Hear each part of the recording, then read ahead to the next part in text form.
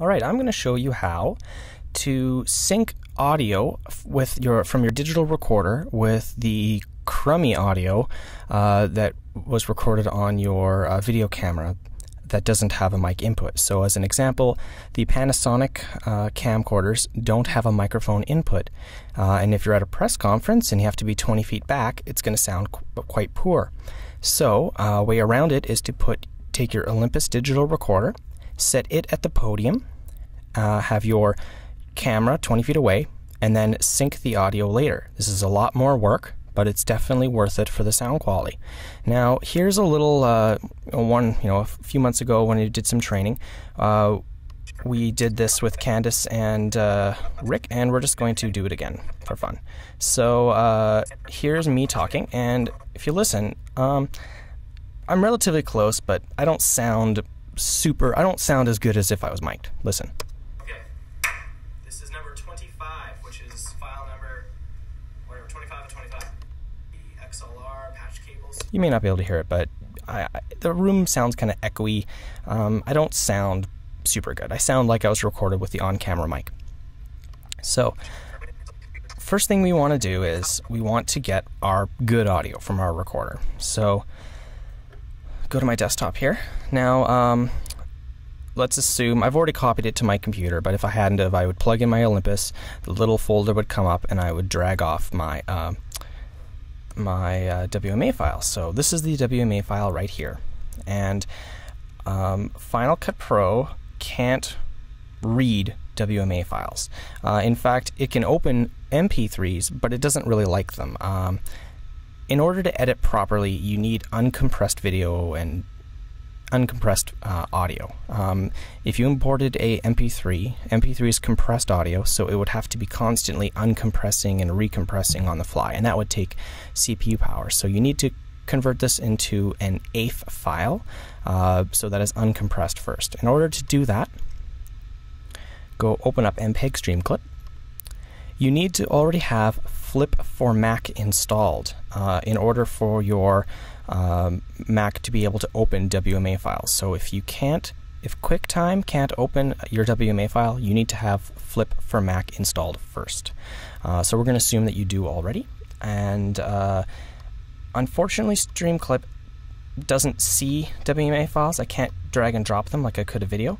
So what you do is you go to File, Open File, and we're going to point ourselves to our little MP3, which I have in this folder. And you see here, it, it, doesn't even see it, right? By default, it only sees video files.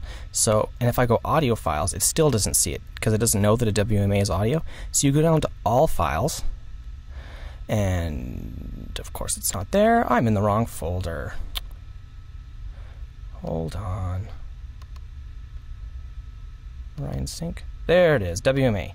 See, I'm on all files. If I was on video files, I couldn't see it. It would be grayed out. I go here to all files and select it, open, and boom, here it is. We hit play. So, are you recording? So, um, now we need to convert this. We go File, Export Audio. The default is an AIF uh, stereo, auto, that's fine. Just use the defaults. You want an AIF file. Hit OK.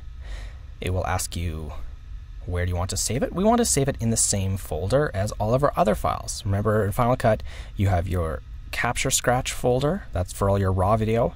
And then you have your project folder. That's where you save everything else. And for every video project, you create a new uh, folder. So you see here in my FCP projects folder. I have a folder for every video that I've done. This particular video is called Ryan Sync, so inside of there we have all of our files. So we want to save it as an AIF, hit save. It's going to chug along there pretty quick, it was only a minute long. So we'll close that, and now there's our AIF. We can go in Final Cut, I could go File, Import, File, or I can just take my AIF and drag it right there into the list. Remember, this list it's not like you're copying the file into this list. All this list is, it's just pointing to those files. So um, here's our A file. If I double click on it, I can listen to it. click here, Okay. there's me clapping. And if I go here to my video clip, Okay. there's me clapping. The reason I clapped was so that I had a, you know, a snap or, or a loud, quick um, sound for me to sync my audio by. If you don't have a clap, uh, if it's a press conference and you can't really be clapping, then uh, you'll just have to go by a word or, or a bump or something or someone clearing their throat.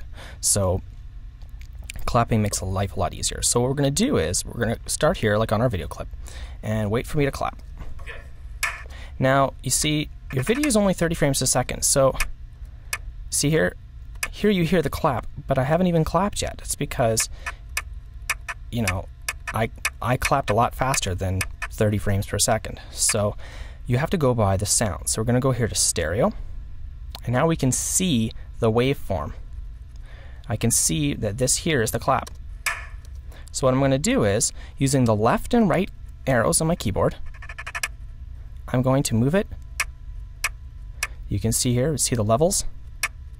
And what I always do is I go till I hear the clap, and then I go back one frame. And then I'm now going to hit I on my keyboard to set that as my in point. Now, I go back here to video, and you see here the clap actually happens before, you know, about here. So uh, I can now click on my video and drag it down like that. And uh, let's shorten this so we can see it a bit better. And there you go. So the video is starting right when I clap. This is number 20. We're not going to worry about that because I can cut the beginning off later. So for right now, we've just set our in point at the clap. Now we're going to go to our AIF file. And the same thing, we're going to listen to it. I'm going to go back a few frames using the right and left arrow.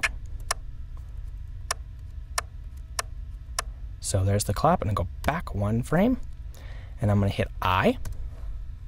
Now, because this is stereo, I uh, because this is just audio, I can't click in the middle of it and drag down. See, if I click in the middle of it, I'm moving my cursor, right? So what you do is you click on the little hand tool here, and I drag that down to uh, there. And now what happens is this audio started right at that clap, and I dragged it down to zero seconds. This one started right at the clap, and I dragged it down to zero seconds. So down here in my timeline at zero seconds and zero frames, This is number 25, which you're hearing both of them. If you listen, is file number. they might be off by one frame, but no one's going to notice being off by one frame, so that's fine. So now our video and audio are synced. I no longer want this audio, so I can just turn it off like that and hit play. This is number 25, which is file number. Whatever, 25 of 25.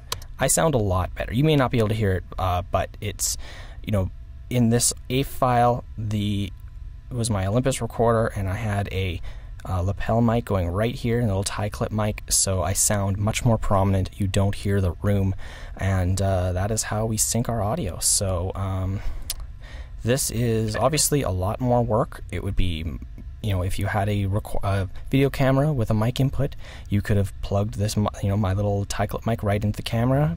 But you know, you got to make do with the tools you have. So uh, that is how you All right. So sync your audio.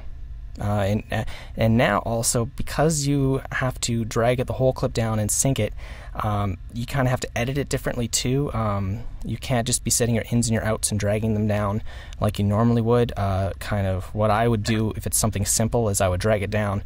I would use the blade tool, and then I would actually end up using that for cutting up my uh, my videos. So it's it's it's it's kind of it's much slower, but again, it's uh, it's worth it because it sounds a lot better.